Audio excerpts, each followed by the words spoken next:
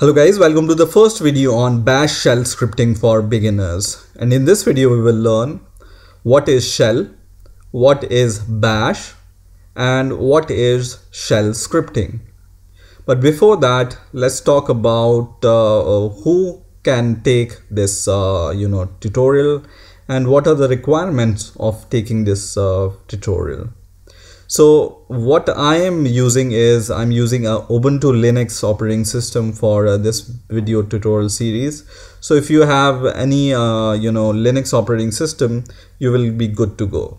Or if you have uh, you know Mac OS or Windows 10 also, you will be able to follow along this video tutorial because uh, Mac OS or Windows 10 nowadays also supports bash uh, shells. Okay so for this video series, I will be uh, using the Ubuntu operating system. Now, if you don't know how to install Ubuntu operating system, or uh, if you don't know how some uh, Linux commands works, I have already made some videos on Linux commands and how to install Ubuntu operating system.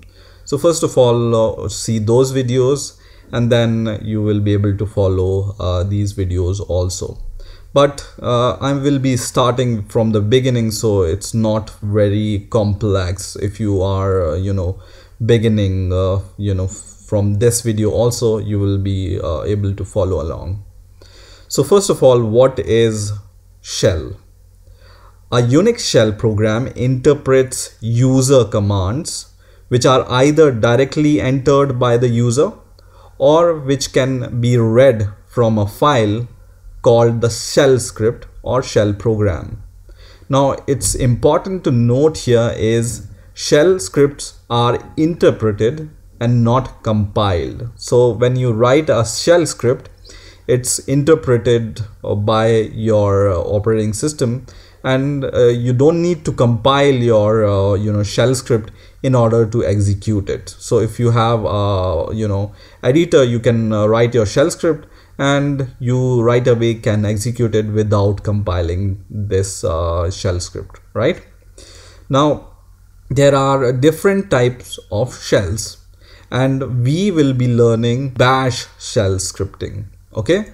So first of all uh, open your terminal and on ubuntu you can just press uh, control alt t to open the terminal or go here and search for the terminal right now in order to search what are the shell types which your uh, operating system supports you just need to write cat and then just write etc and then write shells. Okay? So cat forward slash etc forward slash shells and press enters. And you can see uh, these are the different kind of shells which your system can support so for example my uh, ubuntu operating system support sh dash bash and r bash. And this bash is what we are going to learn right? Now what is sh sh stands for bourne shell which is the original shell still used on unix system or unix like uh, environments right so the first shell which was uh, you know used is this shell. Now what is bash? So bash stands for Bourne again shell. So after this shell uh, this Bourne again shell was reinvented and it's uh, basically based upon an improved version of uh, this sh or bourne shell. And nowadays it's the standard gnu shell which is intuitive and flexible. Okay? So it's more or less the standard uh, shell which is used in most of the linux operating system or unix based operating system including mac os and uh, nowadays windows 10 also. Okay? So these are the shell which are supported by your system. Now where bash is located? So to know where bash is located you just need to write which bash okay? And then press enter and you will be able to see uh, this output. And this is the location where your bash is located. So now we have all the information about bash and let's uh, create our first hello world bash script.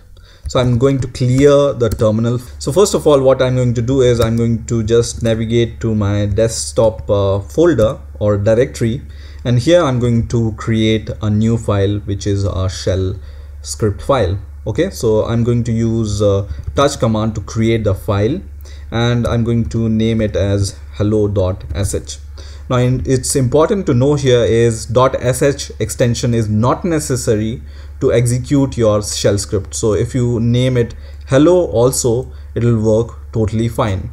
But for uh, whenever you want to open this uh, shell script using any editor then it's uh, you know useful to have this extension because your editor will be able to understand that this is a shell script file.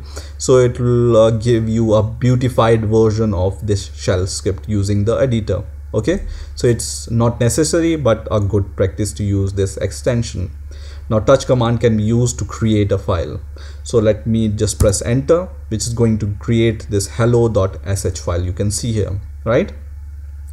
Now uh, let me give you a little bit more uh, detail about this files whenever you create a file which with the touch command and whenever you do ls minus al here and press enter you will see here your hello.sh file have the you know rights uh, here for read and write for you and read and write for the group and uh, read only permission for the user.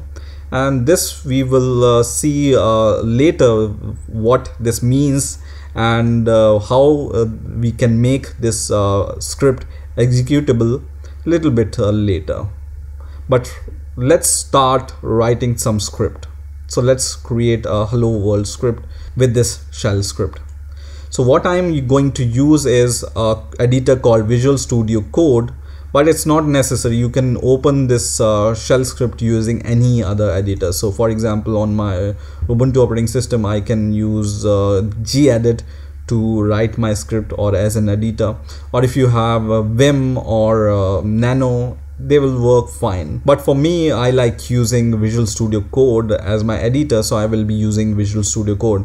But it's not necessary you can use any other editor for uh, you know writing script okay?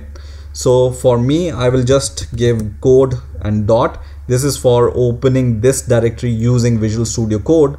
But if you don't have Visual Studio Code just uh, double click on your uh, shell script and it will open with the default uh, you know editor you have okay? So my Visual Studio Code is open now and you can see I have this shell script here. And it's empty right? So let's write some uh, you know script here.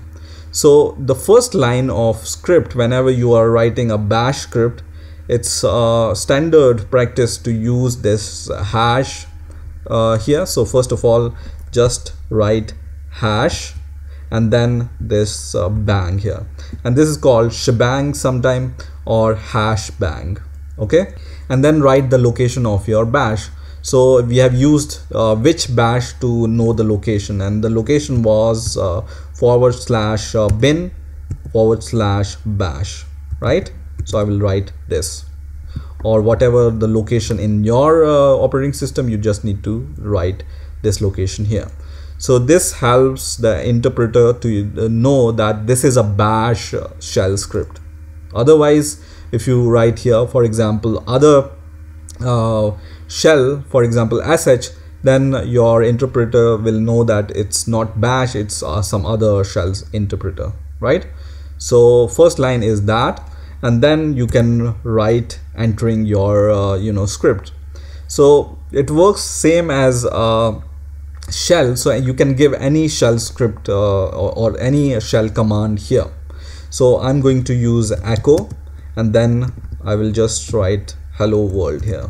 So hello world. And echo command is used to print whatever you write in these double quotes. Okay? So I will just save this and I'm going to minimize my Visual Studio Code. And now I'm going to execute this uh, script so I have just write written two lines here right? This first line for the location and second line is for the echo uh, echoing hello world right? So let's uh, execute this. So I'm going to just uh, write point or dot and forward slash and the name of your shell script. So just uh, write the name of your shell script here okay? And then press enter here and now it says permission denied. And this is what I wanted to uh, you know show you. So because this file whenever you create using touch it has only read and write permission but not execute permission. And what we are doing here is trying to execute this right? So we need to change the permission of this file first and then execute it.